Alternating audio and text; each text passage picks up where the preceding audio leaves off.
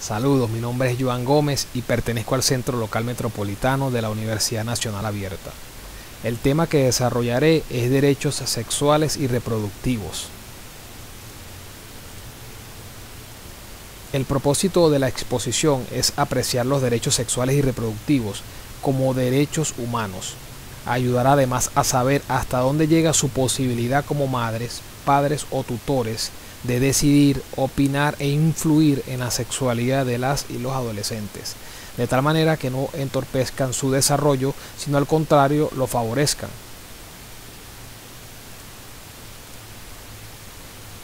Los derechos sexuales y reproductivos son parte de los derechos humanos, es decir, que son propios a todas las personas sin discriminación alguna. Los derechos sexuales y reproductivos buscan garantizar que las personas puedan tomar decisiones sobre su vida sexual y reproductiva con libertad, confianza y seguridad, de acuerdo a su vivencia interna, asociada al cuerpo, la mente, la espiritualidad, las emociones y la salud, y externa, asociada al contexto social, histórico, político y cultural. Los derechos sexuales se refieren a la libertad de las personas para ejercer su sexualidad de manera saludable, sin ningún tipo de abuso, coerción, violencia o discriminación. La sexualidad corresponde a la actividad sexual o comprende la actividad sexual, las identidades de género, la orientación sexual, el erotismo, el placer, la intimidad y la reproducción.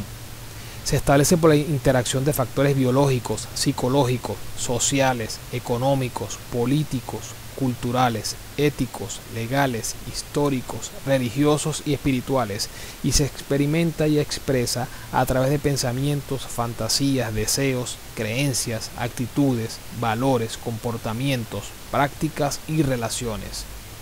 Los derechos reproductivos se refieren a la libertad de las personas para decidir si tener o no hijos, la cantidad y el esparcimiento entre ellos, el tipo de familia que se quiere formar, acceder a información y planificación para hacerlo, a métodos anticonceptivos y al aborto legal y seguro, así como a los servicios adecuados sobre fertilización asistida y servicios de salud pre y post embarazo. De acuerdo a la Federación Internacional de Planificación Familiar, IPPF por sus siglas en inglés, los derechos sexuales y reproductivos se pueden articular de la siguiente manera. Derecho a la igualdad, a una protección legal igualitaria y a vivir libres de toda forma de discriminación basada en el sexo, la sexualidad o el género. Derecho de todas las personas a la participación sin importar su sexo, sexualidad o género. Derecho a la vida, libertad, seguridad de la persona e integridad corporal. Derecho a la privacidad. Derecho a la autonomía personal y el reconocimiento ante la ley. Derecho a la libertad de pensamiento, opinión y expresión. Derecho a la asociación derecho a la salud y a los beneficios del avance científico, derecho a la educación e información, derecho a elegir si casarse o no y a formar y planificar una familia, así como a decidir si tener o no hijos y cómo y cuándo tenerlos, derecho a la rendición de cuentas y a la reparación de daños. Para que estos derechos se hagan realidad es necesario que hospitales, centros de salud, entre otros, garanticen a las adolescentes lo siguiente recibir información en un lenguaje sencillo y claro, ser escuchadas en un ambiente de confianza, respeto y apoyo, acceder a la atención en lugares apropiados y cómodos que permitan la privacidad, tomar decisiones sobre sus vidas.